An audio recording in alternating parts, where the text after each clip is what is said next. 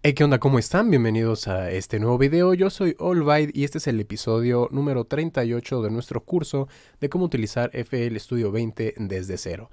En el episodio pasado vimos algunas de las funciones avanzadas, que es eh, cómo crear algunos patrones clonándolos o haciendo make unique. Y eh, en este eh, episodio les quiero enseñar ahora otra función que son los marcadores y los playlists múltiples. Así que vamos a ver. Tengo aquí este pequeño arreglo muy sencillo. Empieza con una kick, después se agrega un patrón de clap y luego unos acordes y una línea de bajo.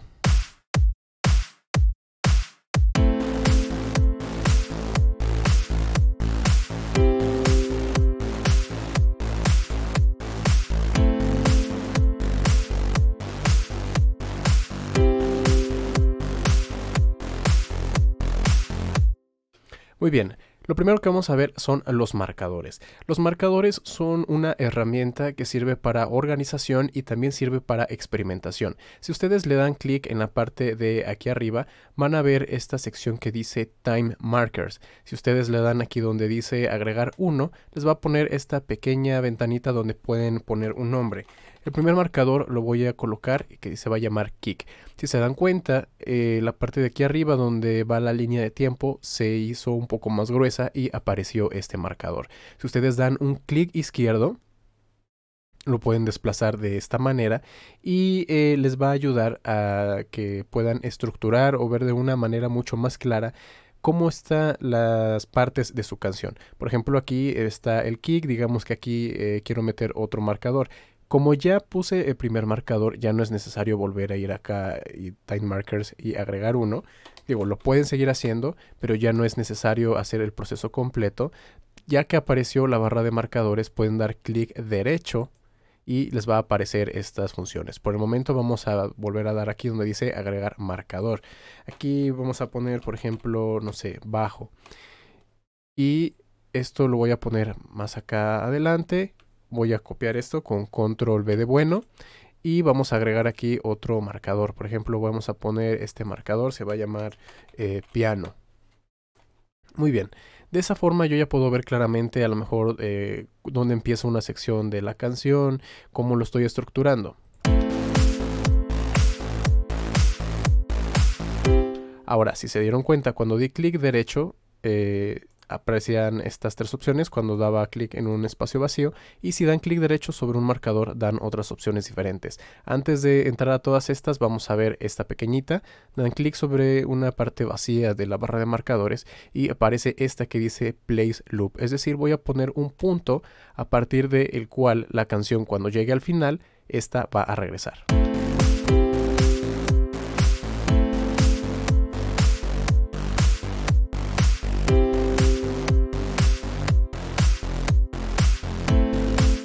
Así la canción, cuando normalmente no hay un punto de loop, llega al final y vuelve a comenzar desde el inicio. Pero si yo le pongo un punto de loop, por ejemplo, si quiero trabajar con esta sección solamente, puedo eh, poner el loop y siempre va a estar regresando a donde marca la flecha.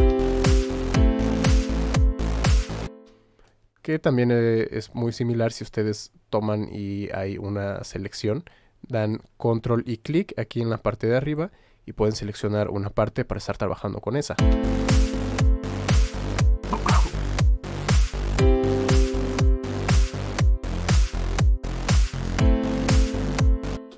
Muy bien, ahora sí vamos a ver el resto de las opciones. Si dan clic sobre uno de los marcadores, pueden eh, borrarlo. Ahí está, voy a volverlo a ingresar. Pueden eh, también cambiarle el nombre le dan donde dice rename. Ahí está, dice piano. Si le dan clic derecho, pueden ver también esta opción que dice agregar time signature.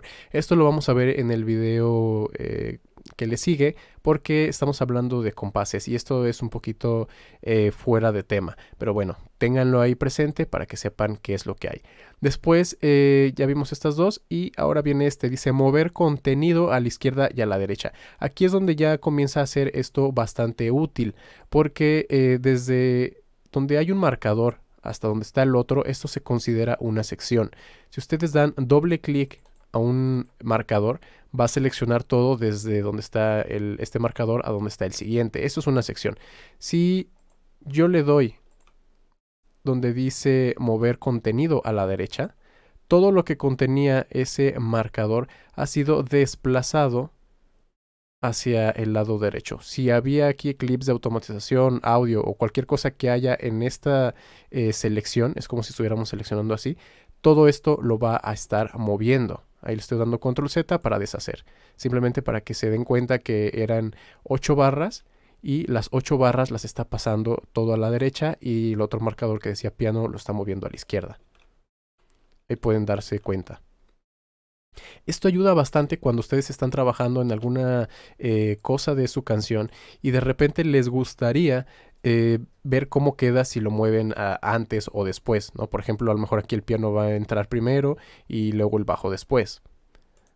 Y lo mismo si lo movemos a la izquierda.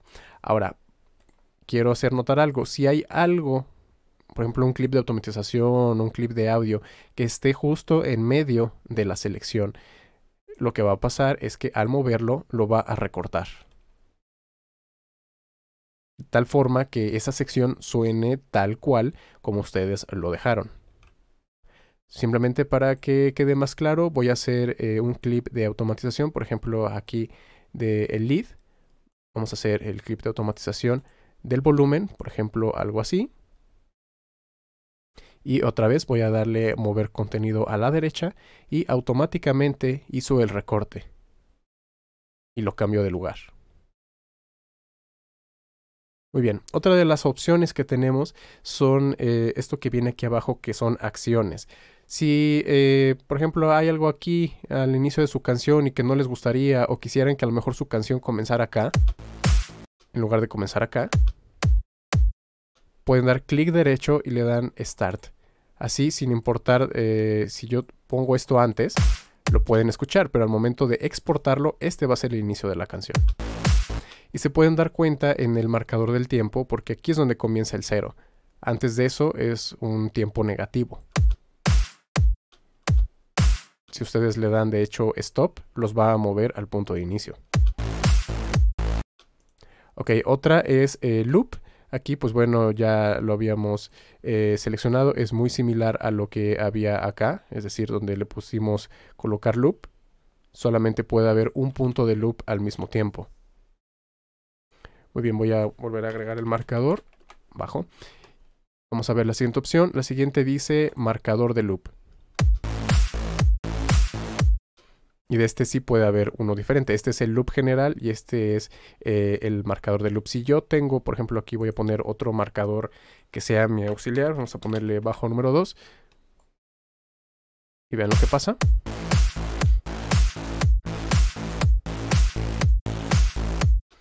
Le estamos diciendo que esta sección que abarca este marcador se va a estar repitiendo una y otra vez. Aunque aquí todavía haya más canción, pues bueno, al estar llegando al siguiente marcador se va a regresar y va a estar reproduciendo esta sección del marcador siempre. Luego tenemos este que dice marker skip. Esto lo que va a hacer es que la sección desde este marcador hasta el que sigue la va a ignorar y se va a brincar hasta el que sigue.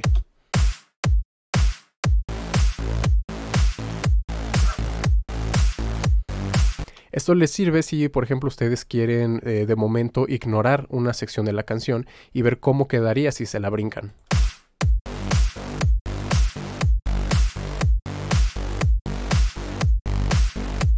Muy bien, eso es lo que hace Skip. Después tiene esta que dice Marker Pause.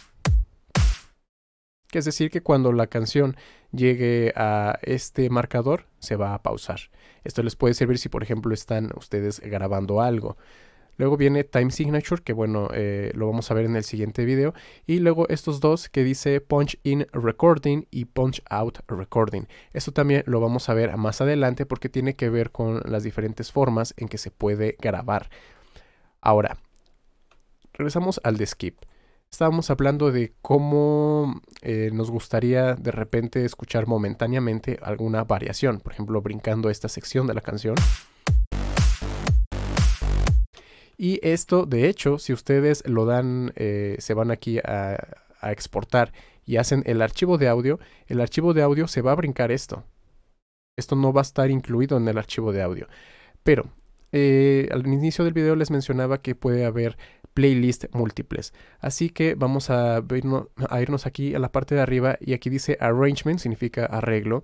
Y si ustedes le dan clic van a darse cuenta que hay estas opciones. Pueden clonar, renombrar y estos ahorita no aparecen porque solamente hay un playlist. Si nosotros le ponemos clonar, nos va a poner aquí eh, que pongamos un nombre. Vamos a dejarlo como está.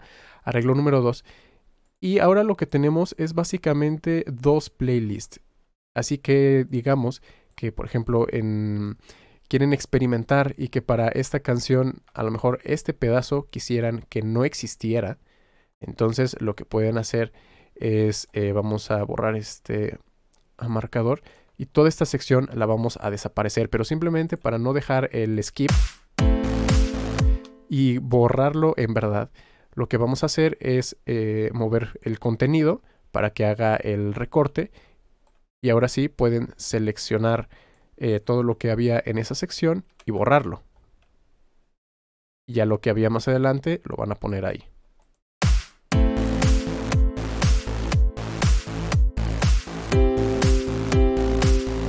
Y aquí el, el, skip pues ya lo pueden quitar. Ahora estábamos en el arreglo número uno. Si ustedes se van al otro, se darán cuenta que está exactamente igual como lo habíamos dejado.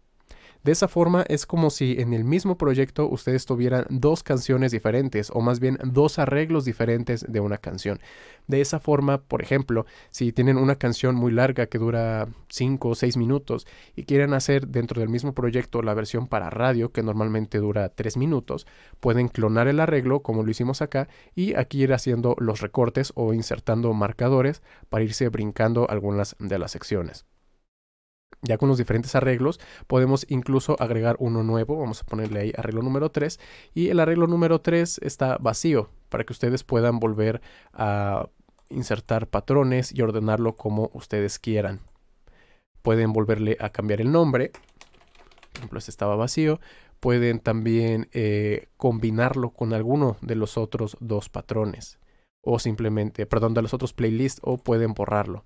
Aquí tienen que tener cuidado porque no se puede volver a, rehacer si es que ya lo borraron.